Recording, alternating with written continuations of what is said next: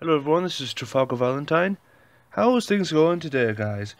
Hope you've been drawing and, you know, keeping up with art talent. And da, da, da, okay, I want to do another vehicle drawing. This one's a Magnum GT2. I just recently just saw a picture of this and thought, man, I have got to draw this. It looks so freaking awesome. I don't know where it's from, what it is, but hey, I like the mystery. Ooh, just zoom in a bit.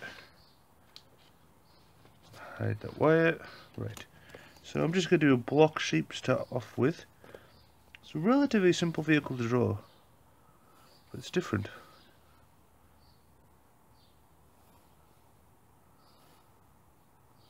I think this is like a custom car, maybe someone designed.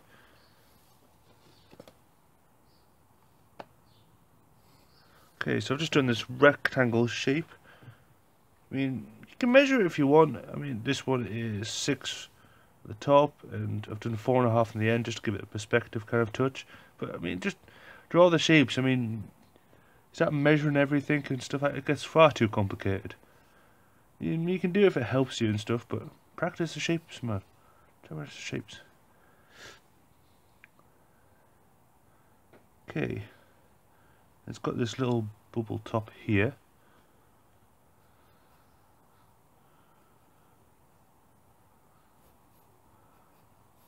Like so.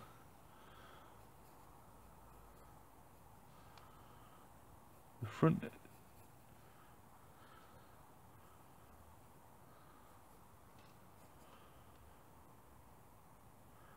front has got this thick edge on it. Uh, so sort of like a V shape in this in the center. This looks like a vent.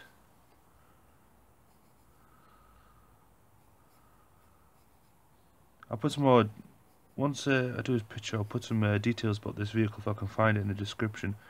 So I want to know what is this vehicle because it doesn't look street legal. So it must be a commercial car for some reason. I don't know. So it's just all these rough shapes. You'll see more when I ink it. So it's got this edge here at the front, which I've just drawn from that block. then the front sticks out like a wide shape like that. Looks like the handlebars of a motorbike. Like them be the handles and it comes down the centre. Okay. Then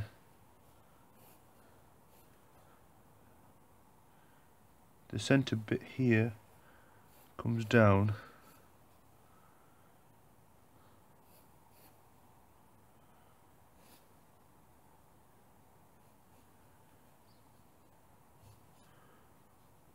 and the back wheel is covered up a little bit I'm guessing this is like a random vehicle from the 60s or something so I'll probably find it it's got a line there, vents seat, pedal,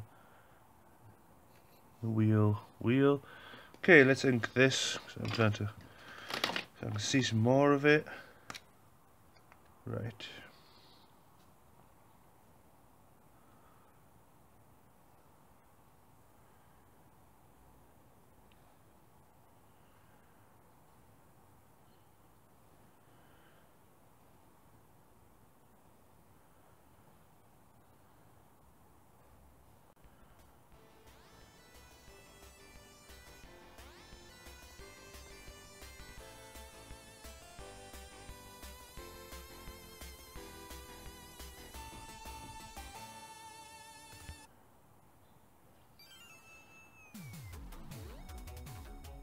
So this is the vents on the front here. See.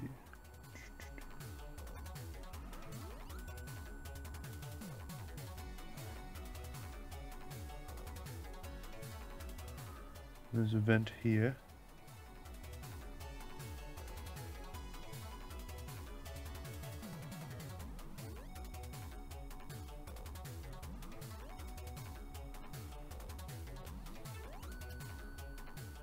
Do a smooth line down the end.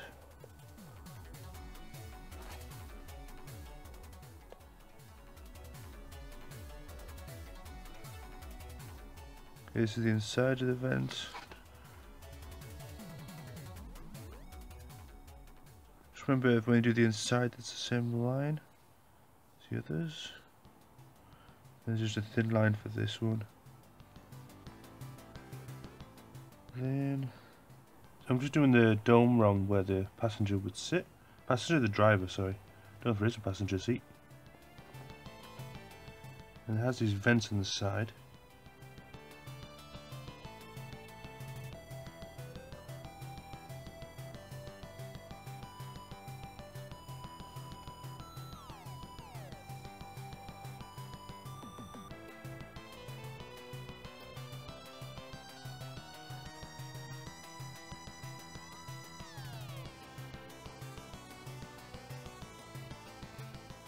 There's some lines that go into it. And for the vents, I'm just going to do some cross hatching.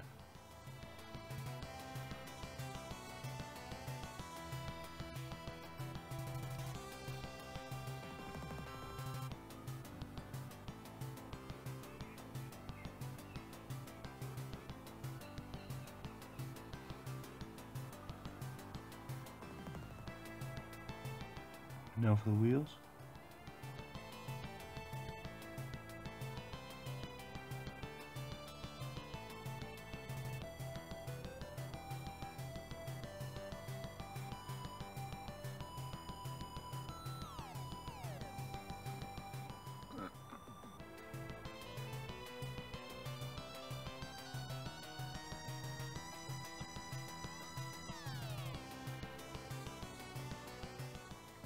Okay, so I'm just going to start with the block shading.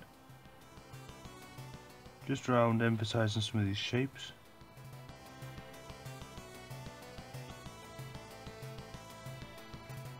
Just like so. So just curl it round.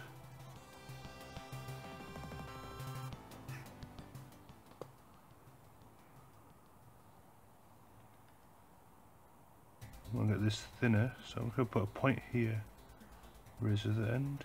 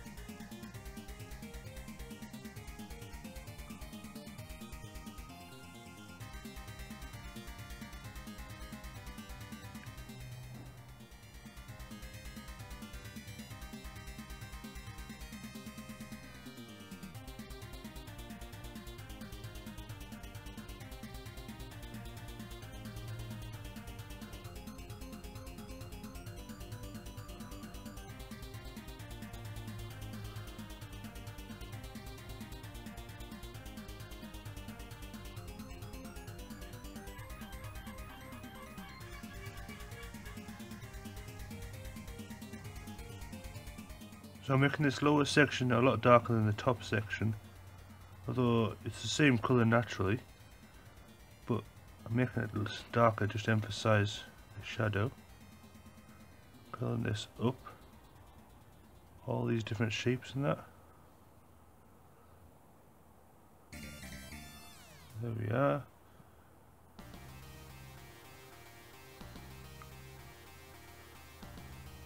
Then once I've done some of the shading like that.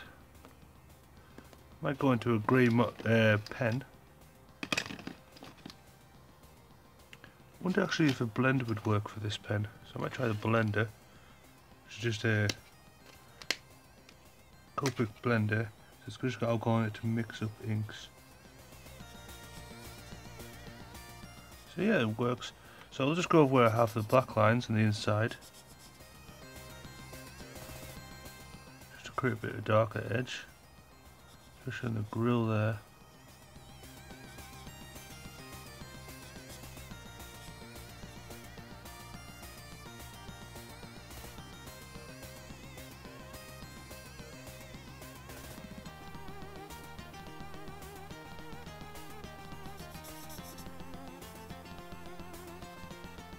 Like so. So I'll probably move a time lapse and just continue this pattern.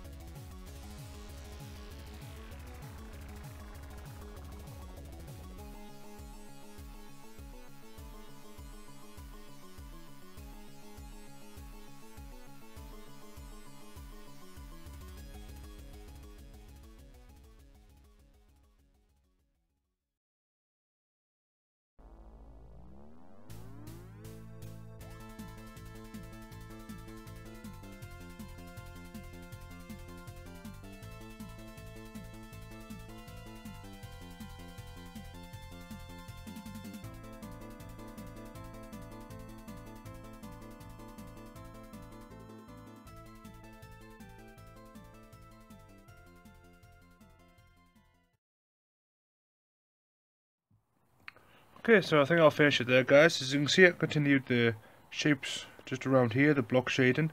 Then went over with a blender, and it works quite well with this pen. I've got a Faber-Castell small pen. And some other permanent markers I've got. It doesn't work very well, but this one seemed to go pretty well. And my blender is just like a Copic marker blender. You get them usually in packs and sets and stuff but you can buy them separately. So this is just uh, for the darker areas and that.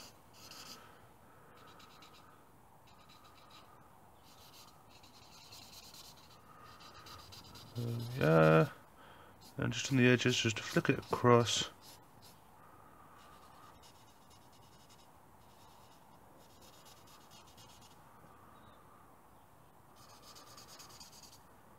Okay, and I added the felt tip pen on the outside, which was just a cheap felt tip pens, nothing fancy. Anyway, th this has been my video, thanks very much for watching, I'll be back in another video quite soon.